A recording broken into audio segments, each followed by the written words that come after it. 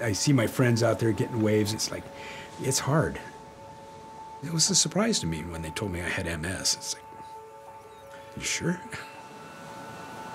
Well, this is a virtual reality rig, and this is going to allow uh, Steve to see and experience the waves that I ride.